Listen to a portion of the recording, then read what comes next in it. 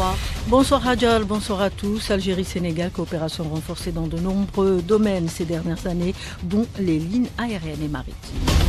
Kenya, journée calme, le président décide le retrait du projet de budget contesté. L'Afrique face à un phénomène en nette évolution, trafic et consommation de drogue. L'Algérie renforce le contrôle du côté des frontières ouest. Au Soudan, la famine atteint un niveau historique et des milliers de déplacés vers le Tchad voisin. Championnat d'Afrique d'athlétisme final 5000 mètres ce soir, on l'attend tous. Saïd Amri sera sur piste.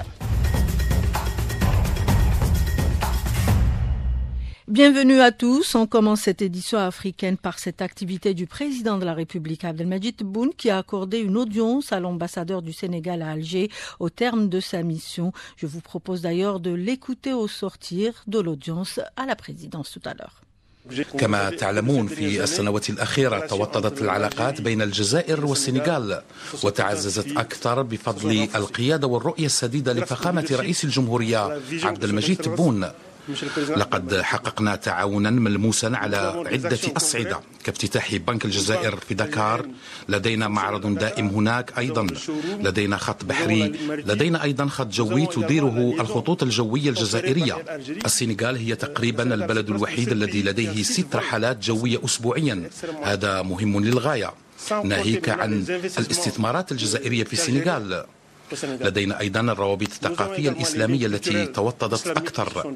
إننا متحدون بروابط تاريخية بالفعل. سوف تستمر هذه الجهود طبعا. C'était Sérigny Diaye, l'ambassadeur du Sénégal à Alger. Il s'est dit honoré quand vous venez de l'écouter. Il a aussi exprimé sa gratitude au gouvernement et peuple algérien et évoqué par là même l'évolution de la coopération bilatérale dans divers domaines. Il a été reçu par le président de la République lors de sa visite d'adieu euh, en présence du directeur de cabinet Boalem Boalem. L'actualité africaine ces dernières heures, marquée par la situation qui prévaut au Kenya, eh bien les esprits se calment finalement après une journée particulièrement violente la veille. 22 personnes ont été tuées, des dizaines d'autres blessées lors d'une journée de contestation qui a tourné au drame. Les manifestants sont sans pris au Parlement en plein débat sur le projet de budget controversé. Eh bien, le président l'a finalement retiré. Je cite la déclaration de William Ruto après avoir écouté attentivement le peuple kényan qui a dit haut et fort qu'il ne voulait rien avoir à faire avec ce projet de loi de finances 2024. Je m'incline et je ne promulguerai pas le projet de loi de finances 2024 qui sera par conséquent retiré. Alors une telle déclaration est un geste d'apaisement plutôt bien accueilli selon professeur Bonouan Gom. Il est président fondateur de l'Académie diplomatique africaine. Nous accueillons très favorablement, avec beaucoup de satisfaction, la décision du président Ruto de retirer le projet de loi de finances qui comportait l'augmentation de certaines taxes que la population, que la jeunesse kenyane avait rejetées. Je pense que c'est une excellente chose que d'écouter sa population. C'est l'expression d'un ancrage à la démocratie. Je pense que le Kenya doit essayer de continuer à donner l'exemple. Donc je pense que c'est une excellente chose. Président Ruto mérite d'être encouragé à persévérer dans cette voie de dialogue. D'autres réactions dans les prochaines éditions. L'Afrique, comme le reste du monde, fait face à un phénomène inquiétant, celui du trafic et consommation des drogues chez les jeunes. L'Algérie ne lésine pas sur les moyens pour renforcer le contrôle au niveau de ses frontières ouest notamment.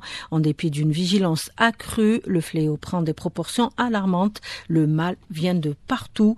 Selon le commissaire divisionnaire Fauzi Mouelek, chef de service à la police judiciaire, il était l'invité du Forum de la Troie avec Nahla Bekrala ce matin sur ondes.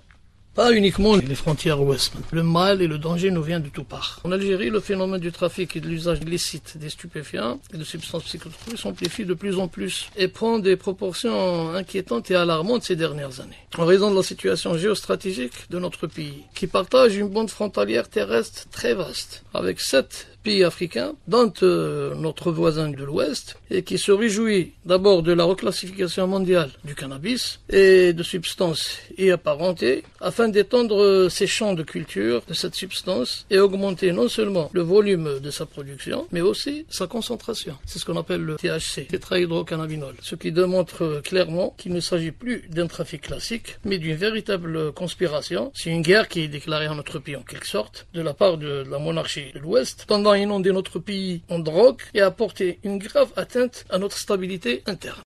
Et des enquêtes poussées ont été menées à l'international, lesquelles ont abouti à des résultats impliquant directement le Maroc dans le blanchiment d'argent des drogues. Bella Kanti, chef de la délégation sahraoui en Europe, contacté par les Estelrini. Ce pays est le paradis des trafiquants et des blanchisseurs. Certaines enquêtes journalistiques et judiciaires ont pu tracer et décortiquer les circuits souvent très complexes du blanchiment de ces drogues. Pas seulement au Maroc, mais en dehors de celui-ci, en Europe notamment. Les trafiquants, blanchisseurs et banquiers véreux agissent en réseau structuré pour couler l'argent de cette drogue dans le circuit financier légal qui le permet de l'investir plus tard dans l'immobilier, dans l'or, les bijoux, les produits de luxe ou autres. Ils se servent pour cela de toutes sortes de stratagèmes, notamment en créant des sociétés écrans anonymes qui permettent de dissimuler les vrais propriétaires. Pour quiconque connaît la nature du régime du Marzen, il sait que l'on ne peut pas s'adonner à une activité si criminelle et d'une telle ampleur sans qu'il y ait connaissance des plus hautes autorités. L'actualité africaine, c'est aussi le Soudan qui vit, une crise humanitaire sans précédent. Une famine dévastatrice menace en effet le pays après plus d'une année de guerre sanglante opposant l'armée aux forces de soutien rapide. L'inquiétude est vive, d'autant que 43% de la population est en état d'urgence d'insécurité alimentaire. On craint une famine d'ampleur historique. Germain Mehou, il est porte-parole du CICR au Soudan. Il fait un état des lieux de ces dernières 48 heures. Ces dernières 48 heures ont été marquées par euh, des affrontements très violents entre les deux parties au conflit, euh, ici au Soudan, l'armée soudanaise et les Rapid Support Forces. Les combats se déroulent euh, principalement dans la région de Sénar et pour le contrôle de la ville principale de cette région, ville qui s'appelle aussi Sénar. En termes de bilan sur le plan humanitaire, les derniers affrontements ont conduit à des très grands mouvements de population. La peur a frappé les populations, donc les gens se sont mis à fuir de tous les côtés, quitter Sénar et à se rendre dans des régions voisines, notamment vers Guédaref et vers la région de Kassala. D'autres descendent un peu plus vers le sud, vers le Kordofan. Donc on assiste à des gros mouvements de population depuis 48 heures et malheureusement je crains que ça va continuer parce que les populations ont peur. Les populations ont peur des conséquences des combats. Les populations ont aussi peur euh, des pillages, ont aussi peur des bombardements et tout ce qui se passe généralement lorsqu'il y a des affrontements ici au Soudan. Justement, au Soudan, le conflit a contraint plus de 600 000 réfugiés, 180 000 euh, rapatriés tchadiens, en grande majorité des femmes et des enfants, à fuir vers le Tchad. Selon le HCR, plus de 115 000 sont arrivés au Tchad depuis le début de cette année. Ahmad Mohamed Hassan, ex-ministre de la Justice, juriste et consultant à N'Djamena. Les réfugiés ont un impact certain parce qu'ils reviennent. Il y a une forte pression sur la terre et les ressources naturelles parce qu'il y a parmi eux également des éleveurs, mais la plupart c'est des sédentaires qui viennent. Il y a une forte pression sur la terre par rapport à des champs de culture ou à l'accès à l'eau potable. N'était la communauté internationale qui s'est mobilisée, ça pose un problème. Les populations s'installent, on est entrés en saison de pluie et ça pose un problème très profond, mais ça pose un problème, un impact certain sur la stabilité du Tchad.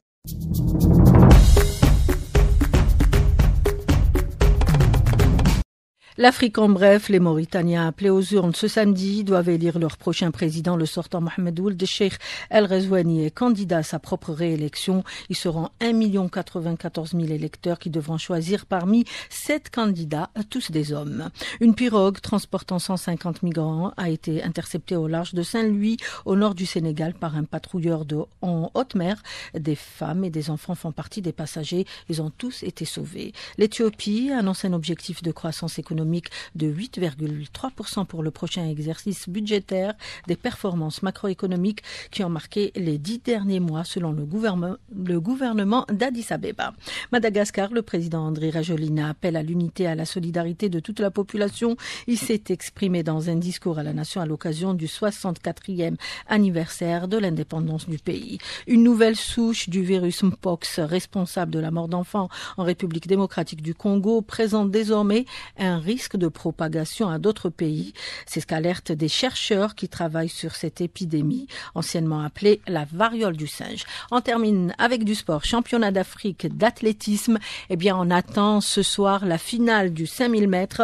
L'Algérien Saïd Amri sera sur piste.